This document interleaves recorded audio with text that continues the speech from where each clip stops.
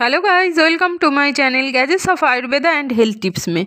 तो चलिए शुरू करते हैं आज का टॉपिक आज का टॉपिक है, नींद ना आने की समस्या में रामबान है इन चार चीज़ों का सेवन। दवाइयों की ज़रूरत नहीं पड़ेगी आपको।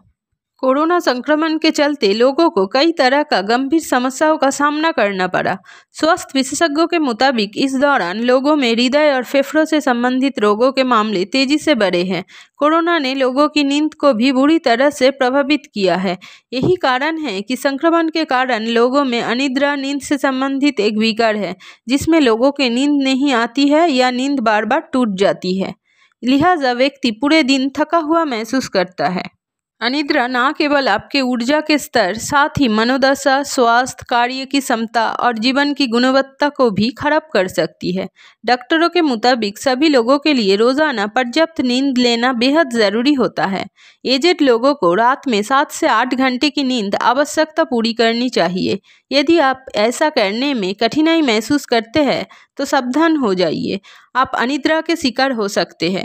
इस समस्या को ठीक करने के लिए वैसे तो कई तरह के उपचार उपलब्ध है।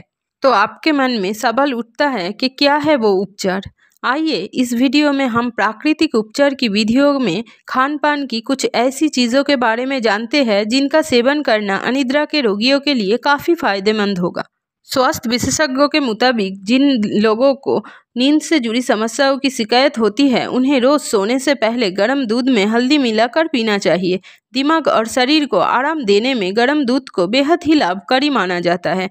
विशेषज्ञ कहते हैं कि दूध में ट्रिप्टोफेन होता है, जो नींद को बढ़ावा देने में लाभकारी माना जाता है। वो ही हल्की शरीर की मरम्मत करके शरीर को आराम दिलाती है। एक कप गर्म दूध में आप एक या आधा चम्मच हल्दी पाउडर मिलाकर सोने से पहले उसका सेवन करें। ये अनिद्रा की समस्या को दूर भगाने में मदद करेगी। केले को अनिद्रा की समस्या में बहुत प्रभावी माना गया है। इसमें मौजूद खनिज जैसे आयरन, कैल्शियम और पोटेशियम अच्छी नींद में सहायक होते हैं। बेड पर जाने से कम से कम एक दो घंटा पहले आप केला खा सकते हैं। नींद की समस्याओं को दूर करने के साथ केला का सेवन स्वास्थ्य के लिए भी काफ़ी फ़ायदेमंद माना जाता है।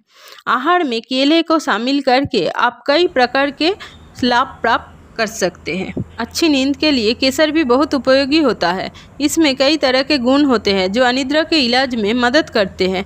रात को सोने से पहले दो चुटकी केसर एक कप गर्म दूध में मिलाकर पिए। इससे बेहतर नींद आएगी और सुबह उठकर आप फ्रेश महसूस करेंगे। केसर त्वचा और मस्तिष्क के लिए भी काफ़ी फ़ायदेमंद माना जाता है। दूध और केसर का सेवन शरीर के लिए बेहद लाभदायक होता है। घरों में मसाले के रूप में प्रयोग में लाया जाने वाला जायफल कई औषधीय गुणों से भरपूर माना जाता है। इसके इस्तेमाल से अनिद्रा की समस्या खत्म होती है। इसके लिए आप एक कप गर्म दूध में एक दो चम्मच जायफल पाउडर मिलाएँ और सोने से पहले उसका सेवन करें। ये अनिद्रा के अलावा अपच और अपसत के इलाज में भी उपयोगी है। जायफल यानी नाटमेग में मौजूद औषधीय गुण फेफड़े और ब्लड की शुद्धता के लिए भी फ़ायदेमंद माना जाता है। तो गाइज़ आज की वीडियो में यही पेंट करती हूँ। अगर आपको मेरे वीडियो अच्छा और हेल्पफुल लगता है तो सब्सक्राइब ज़रूर करना। और मेरे चैनल की बाकी वीडियो को भी देख लेना, ताकि आपको हेल्थ रिलेटेड और ब्यूटी रिलेटेड और जानकारी मिले। मिलती हूँ और एक इंटरेस्टिंग वीडियो के साथ।